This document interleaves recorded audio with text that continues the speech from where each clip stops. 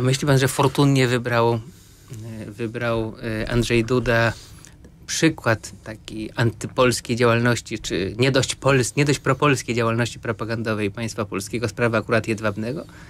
Bo ja, żeby tak dopełnić to pytanie, jestem zdania, że Polska w ciągu ostatnich iluś tam kilkunastu lat rzeczywiście zbyt y, słabiutko reaguje na różnego typu sugestie, że, że byliśmy sojusznikiem Niemiec, współpracownikiem Niemiec, czy współodpowiedzialnymi za Holokaust.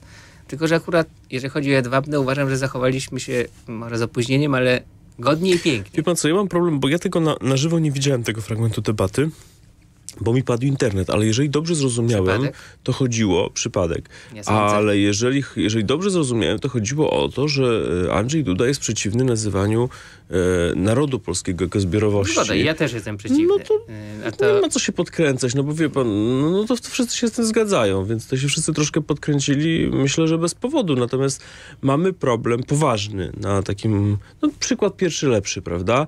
Mm, umiera profesor Bartoszewski, wszyscy kłaniają się nad jego trumną. Zostają, zostają, pani premier czyta jego, jego ostatnią wolę, jak gdyby polityczną. Tam jest wyraźnie napisane. Pomoc dla Fundacji Polsko-Niemieckie Pojednanie. Szereg wystąpień Bartoszewskiego z ostatnich dwóch lat, i żeby się zająć Instytutem Zachodnim. Instytut Zachodni ma dzisiaj roczny budżet niecały y, milion. Zdaje sobie pan z tego sprawę? I nikt Słysza, nic Słyszałem, nie że tam mają poważne obniżki mamy, pensji, prawda? Proszę pana, Aby no w ogóle przetrwać. Jest strasznie i mamy, yy, mamy z tym problem. Ja piszę na Twitterze, że trzeba się zająć tymi problemami. Odpowiada mi Waldemar Kuczyński, że patrzę do tyłu.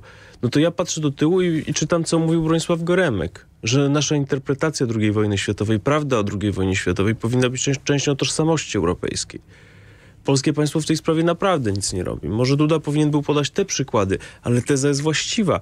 Y, jeżeli chcemy na poważnie budować integrację europejską, no to naprawdę trzeba wypełnić ten testament, prawdziwy testament Bartoszewskiego, Geremka i tak dalej, i tak a nie podkręcać się jedną czy drugą ich wypowiedzią doraźną, polityczną, gdzie oni zaatakowali oponentów, których akurat ktoś nie lubi.